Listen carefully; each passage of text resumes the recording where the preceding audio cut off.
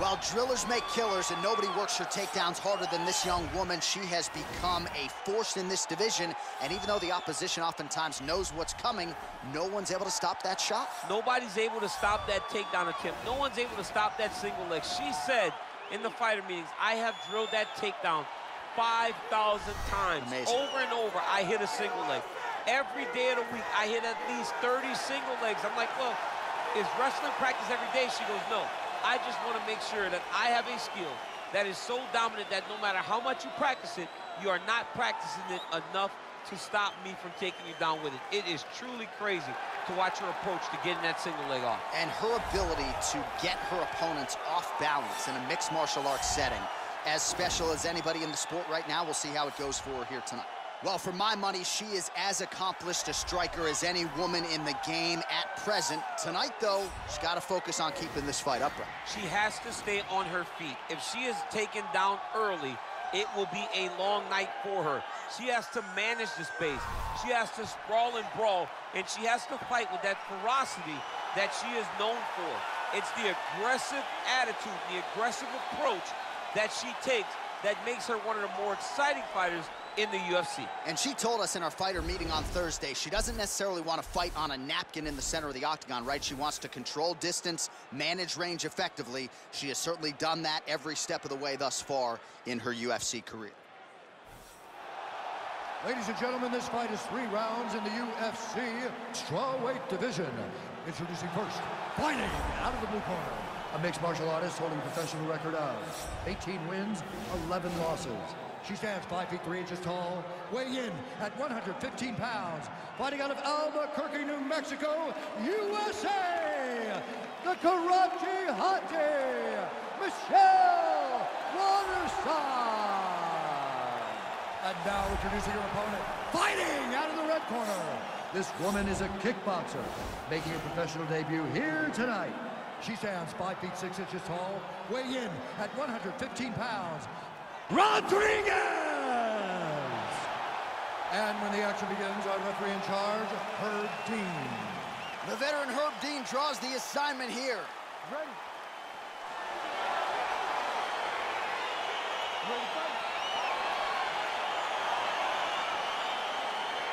All right, so here we are, Newark, New Jersey, the Prudential Center. You know, some people call this the armpit of America. I'm having a good time. I don't know. It's a beautiful place and a beautiful arena. And the fans here are... Oh!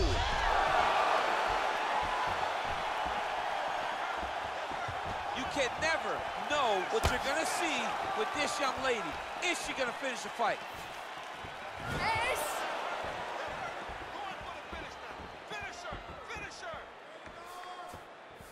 Whoa!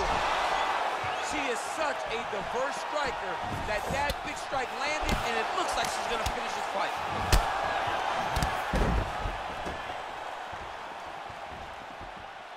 Not there. Well, she lands the punch there. You know, it's one thing to have an edge and reach. It's another thing to take advantage. Nicely done by her there. Beautiful body kick. And she connects with a punch there, champ. She's so accurate. She's so good at timing all of her strikes. Good jab.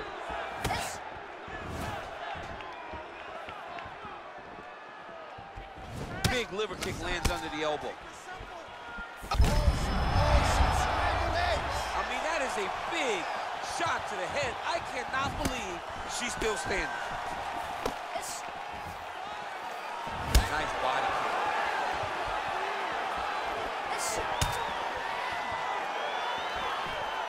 that's a hell of a kick by her there. We'll see if she can follow it up now, champ. Great job landing that kick.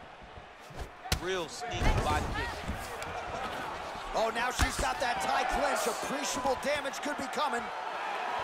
Stuffs the takedown shot there. How good is her takedown, D? Both fighters throwing heat now. She blocked the punch. All right, so now she engages in the tie clinch, and of course, if you're fighting hands as the opponent, you leave everything she will dig big brutal knees to the body. And she lands a punch there. We'll see if she can start to turn these singular strikes into combinations now. She's going to have to move. Can't take pictures now. She has to react. She has to go chase the finish.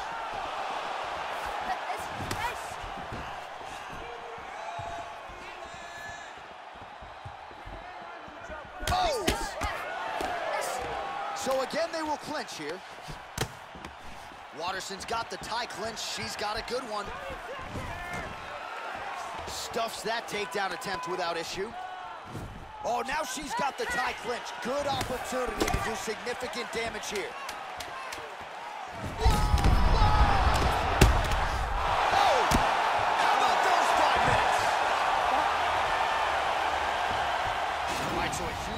Her in that previous round, DC, as we show you some of the highlights. The knockdown nearly closed the show for her. Yeah, and that's what we're going to focus on. We're going to focus on the knockdown because it looked like the fight was over.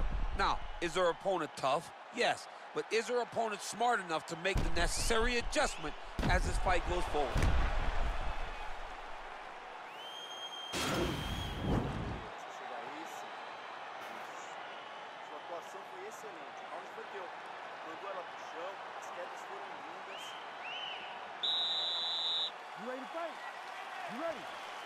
All right, round two.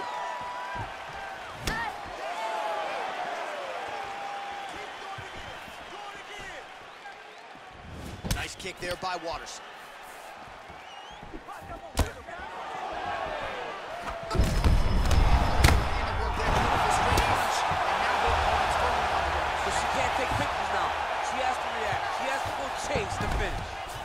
So her ground control is outstanding. Half guard is when she's at her most dangerous. Yeah, she's at her most dangerous when she has a half guard because she's so brutal with the ground and pound. She likes to go after fighters and really wear on them, force them to make decisions to give their backs so that she can chase her submissions, or they're gonna lay on their back and just get beaten up from the top from that beautiful half guard position. Oh, sage work from the bottom here as she tags her with the punch.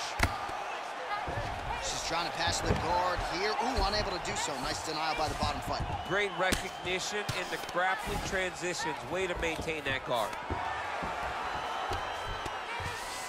Well, there are a few things more fun to watch in mixed martial arts than these type of transitions and scrambles on the ground. High level Waterson's looking for an arm bar here.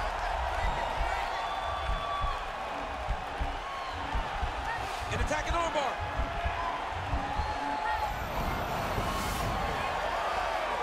Oh, she slams her to the ground and with authority right there. So that's certainly one way to fend off the arm bar. Lift your opponent up and slam her to the ground. Well done. Well, her opponent is squirming, and this might be the beginning of the end. The ground and pound strikes continue to land at will. She's landing it over and over again. She needs to make sure that when she's chasing the finish, she doesn't get excited and lose the position.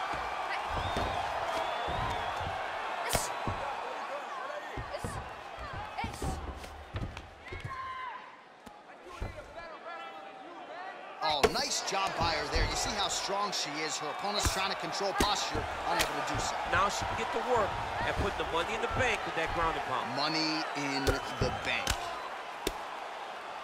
Good ground and pound by her here. She felt like she could finish the fight with her ground strikes tonight and might be well on her way here. I mean, John, I believe it after watching the ground and pound that she's landing in this part of the fight. How good is her movement here on the ground, right? Shades of Ray Borg just transitioning so beautifully. Yeah, she's so good at transitions and Waterson's looking to lock up an armbar here.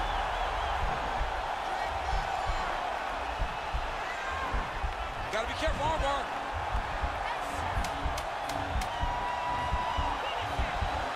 Oh, we're getting a finish here.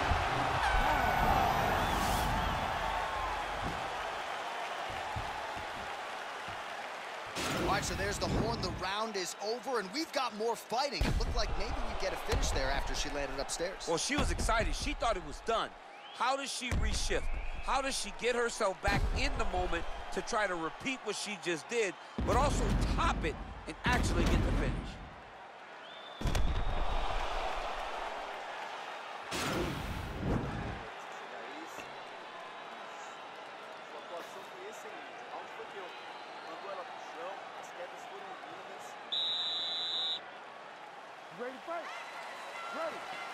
Do it.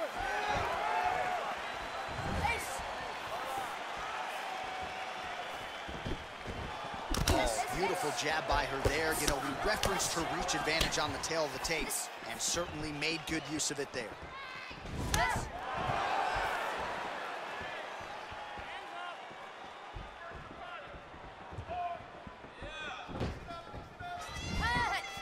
Effective jab there by Waterson. And she switches to southpaw. We show you the head strikes. Oh, kick to the head. That'll rearrange some uh, some brain cells a little bit. That, she's, it's over now. Unbelievable. What a fight. That'll get the crowd on its feet. A near perfect land to end the fight for her here tonight. Just the way she drew it up, she had her focus on the knockout, and that's exactly the way this fight ends. Not even sure the opponent saw the shot coming. They oftentimes say it's the shot you don't see coming that spells your fate, and that certainly spelled her fate here tonight. And there she is after the huge knockout here tonight. What a moment for this fighter. You can't help but feel good for her here tonight. Ladies and gentlemen, referee Herb Dean has called a stop to this contest at 1 minute, 12 seconds of round number three. Declaring the winner by knockout, Rodriguez!